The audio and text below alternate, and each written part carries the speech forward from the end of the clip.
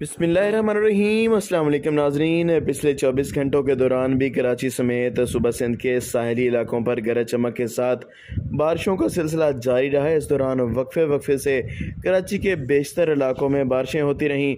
आज भी कराची के बहुत से इलाकों में मज़ीद बारिश का इम्कान है। तफसीत के मुताबिक पिछले चौबीस घंटों के दौरान Gulshan Hadeed Bahria town, Faisal base Jinnah terminal, Nooriabad, Orangi town, Clifton, new Karachi, Chowrangi, Bahadurabad, गुडाब समेत मलिर, गुलशन मेमार, सुरजानी और कोरंगी समेत सादी टाउन और बेशतर इलाकों में सैलाबी सूरत हाल पैदा हो चुकी है।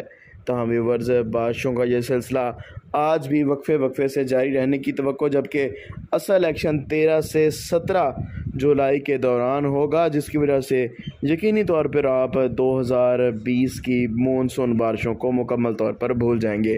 क्योंकि आने वाला सिलसिला अब तक का ताकतवर तरीन सिस्टम होगा, जिसकी वजह से कराची के तूलो अर्ज़ में एक दफ़ा फिर शदीद बारिशों की वजह से बेशतर इलाकों में सैलाबी सूरत हाल का ख़तरा है। लिहाजा शहरी मोहतात रहें और अपना इंतज़ाम मुकम्मल रखें। हाज़िर होंगे नई रिपोर्ट के साथ। इजाज़त दीजिए। अल्लाह हाफिज़।